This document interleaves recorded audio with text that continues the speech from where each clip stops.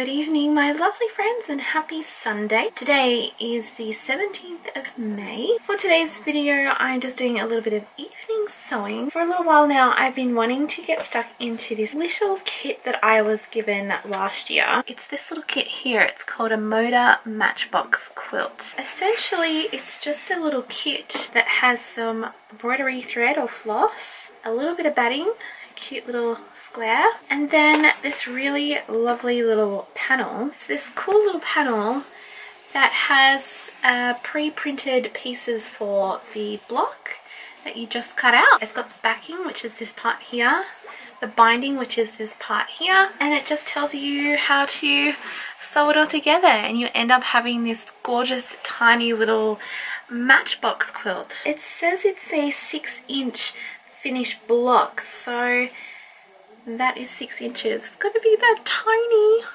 Ah oh, so cute. So i'm gonna give this a go today. I'm not gonna finish it so it might be like a two-parter. I'll start it today and finish it tomorrow. But i thought i'd just show you how i do it show you the process if you're interested in it. Apparently there are nine other blocks that you can buy and sort of like put it into a sampler I'm assuming. This one is number four series of nine mini quilts. I'm super excited to see what it looks like. Here's a closer up look of the panel. So this is what it will look like. Here are our instructions.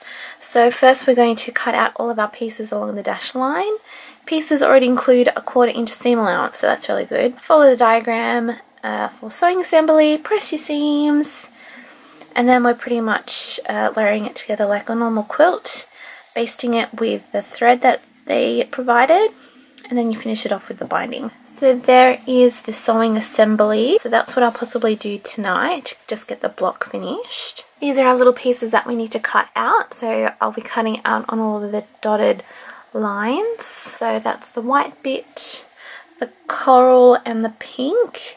And then like I said, that's the backing. And then this green strip along the edge is the binding. And for those of you who are interested, this is what the selvage says. Okay, so the first thing I'm going to do is I'm actually going to press it so that it's nice and flat. We don't have any other bumps or lumps or creases in it. So it's just going to be nice and easy. Then we'll cut. I'm going to be honest, I haven't actually done a lot of things made from panels. So this is kind of like a new thing for me. And I'm excited to see how it works out. Yeah. Alright, gotta put the iron on and we'll get started.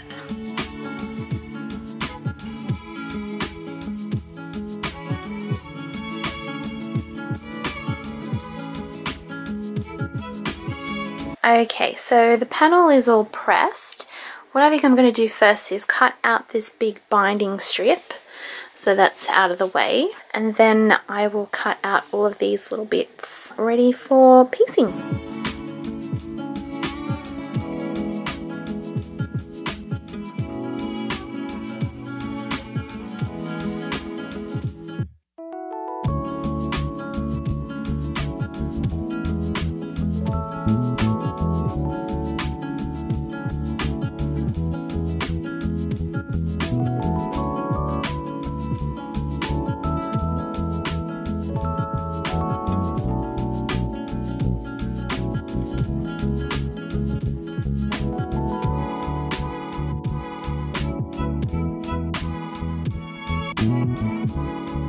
So there we go, all of our pieces have been cut out and I've just popped them all into the block formation as per what step one shows me. So now I just have to piece them all together. I'm going to be honest, I've never sewn these two sort of pieces together. So I don't know whether I have to line them against this edge like that. So then when I do my quarter inch seam, it should flip over. Oh yeah, and that should join up flushly with that edge.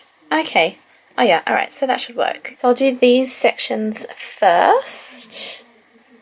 And we'll see how they go. And then we'll do these triangles together. And then put them together into their units. Wish me luck!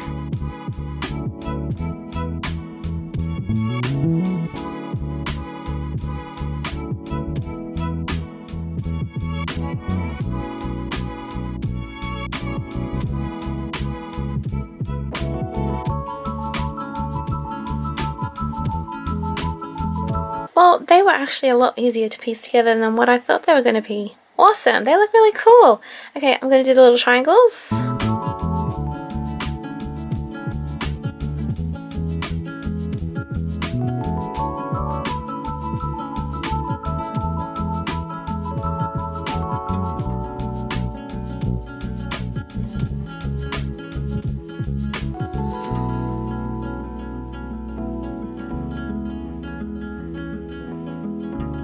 There we go, it's coming together a little bit more. It looks so cute. Before I actually piece it all together, I'm actually going to cut off all of these little sort of dog ears here. I call them dog ears, some people call them bunny ears, little triangle things.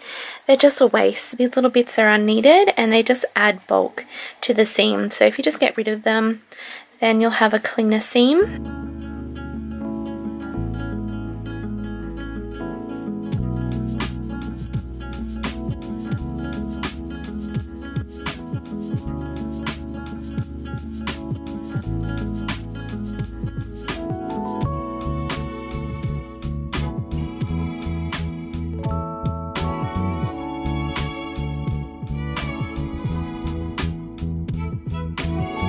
So all of our units are pieced together and they came together really well.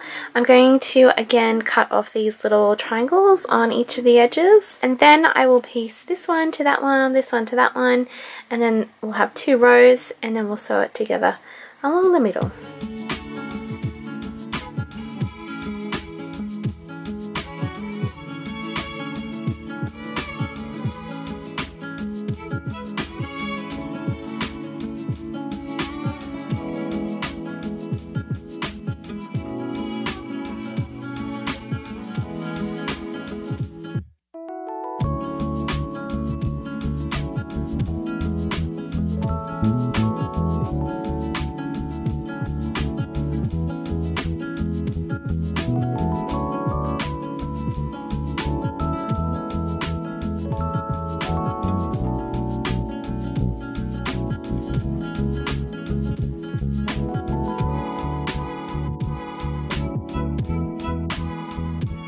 Here's